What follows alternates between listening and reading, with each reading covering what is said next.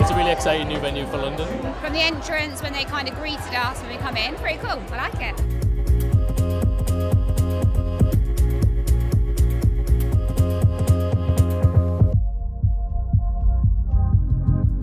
Nice space. You can see there's a lot of people in here, but it doesn't feel too crowded, which is good. And it's got a great view. The architecture is amazing.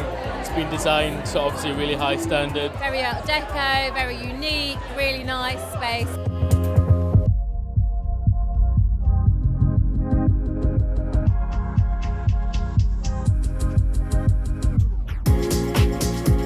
Whatever kind of person you are, it kind of suits your vibe and you can dress it up really nicely.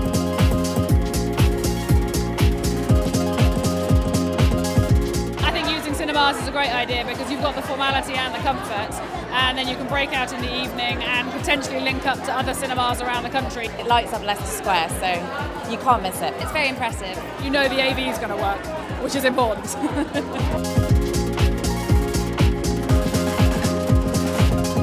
It's really the perfect space for the kind of events that our clients want to host in here. It's versatile, the wow factor.